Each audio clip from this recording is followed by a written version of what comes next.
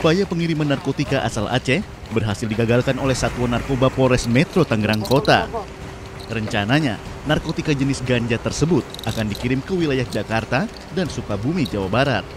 Anggota kita membuntutinya di jalan tol sampai uh, ter para tersangka masuk ke rest area di Karangtengah.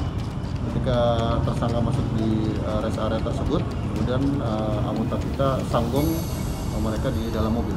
Mau udah? Siap, siap. Ada berapa banyak ini? Siap. Oh ya, berapa banyak? Dua aja, Pak.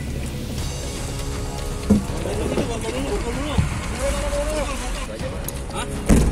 Dikirim ke mana ini? 12. 12. Eh, ada 12. Ya, Pak. Desainnya di mana lagi lo? Hah? Enggak aja, Pak. Dari mana nih barang? Eh.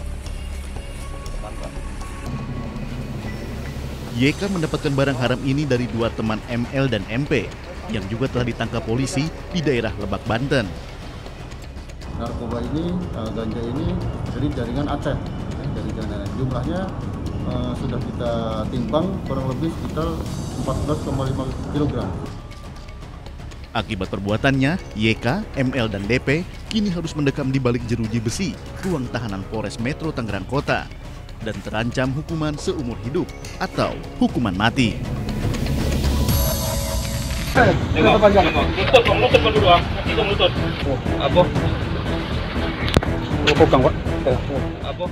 Narkotika Nasional Provinsi Riau menangkap seorang kurir narkotika jaringan internasional.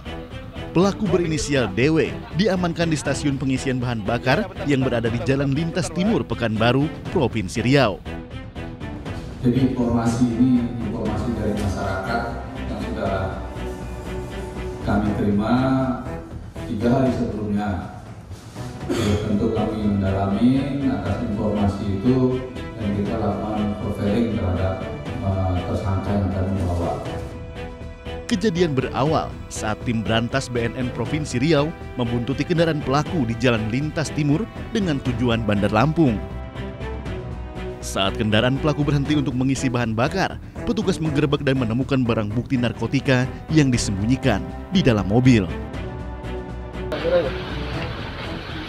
Geledah, geledah lu geledah. Depan. Apa isi ini? Woi, apa isinya? Apa isinya? Cepat. Hah? Apa isinya?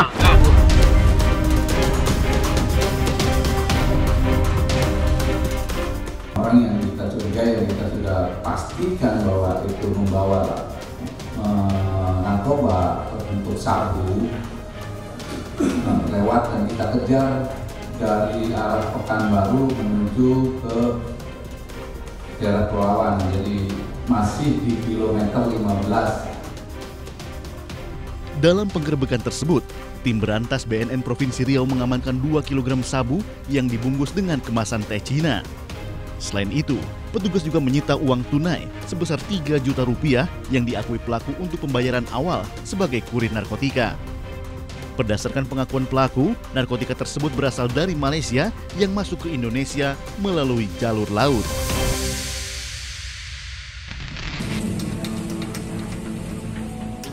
Tim gabungan Polda Metro Jaya dan Polda Kalimantan Selatan berhasil menggagalkan penyelundupan narkotika dari Malaysia dengan tujuan Kalimantan Selatan. Sabu sebanyak 300 kilo ini dikirim dari Malaysia dan masuk ke Kalimantan Utara. Di sana, paket diterima oleh dua orang kurir berinisial AY dan S. Selanjutnya, dua rekan mereka, A dan R, membawa sabu menuju Kalimantan Selatan melalui jalur darat. Pelaku berinisial A dan R berhasil diringkus petugas setibanya di Banjarmasin, tepatnya di parkiran hotel tempat keduanya menginap. Bersama dengan kedua pelaku, polisi menyita 10 karung narkoba di dalam mobil yang digunakan keduanya. Semula kami menduga barang bukti hanya 200 kg, tetapi setelah ditimbang kemudian diawasi, barang bukti yang disita berhasil total 300 kg.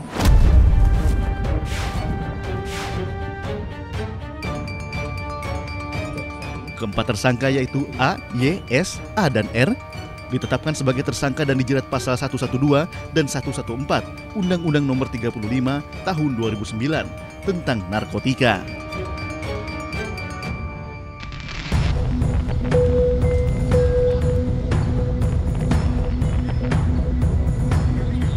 Badan Narkotika Nasional menangkap jaringan pengedar narkotika jenis ganja dengan berat total sekitar 500 kg di Jalan Siliwangi, Rawalumbu, Kota Bekasi.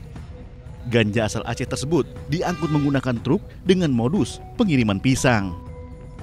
Perkirakan ini kurang lebih ada 450 kg sampai setengah ton untuk menyamarkan kegiatannya sehingga kendaraan atau barang tersebut tidak terdeteksi bahwa mereka ini sebenarnya mengangkut bahan terlarang.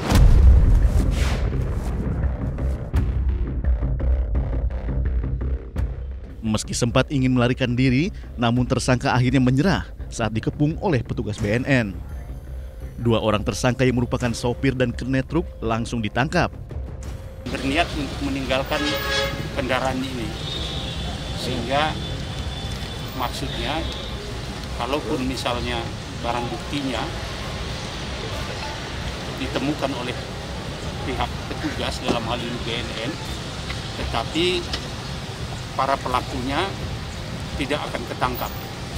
Nah ini maksudnya untuk memutus informasi supaya tidak sampai terbongkar seluruh jaringan.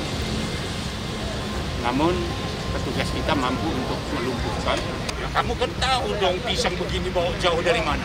Yang buat orang Dari mana? Dari Aceh kok kamu bawa begini nyampe sini juga bisa.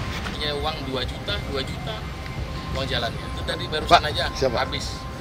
Minyak solar kami di Lampung minta kiriman dikasih 2 juta itu sisanya di dompet itu ada. Begini pisang begini di, dikirim dari Aceh.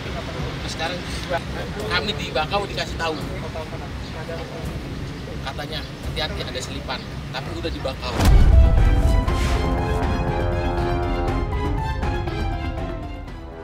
Kini, sopir kenek, truk, dan barang bukti telah diamankan petugas untuk penyelidikan lebih lanjut.